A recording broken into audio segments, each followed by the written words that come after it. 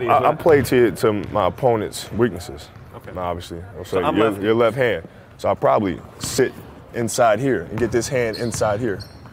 You know, it's a little trick for the weekend warriors over there. trick. You know, You like tricks. Once this guy makes his move with his right hand, what you try to do is you try to pin this this arm. See this? See this arm right here? It's a strong hand. You pin this because you know he's inevitably gonna come back to a strong hand, right? So now when he makes that move, now he can't come back. Watch, try to cross over. Uh oh. that ball pops out. that ball pops out because you pin that, you, you, you take away his strength. Right here, you get up inside of him.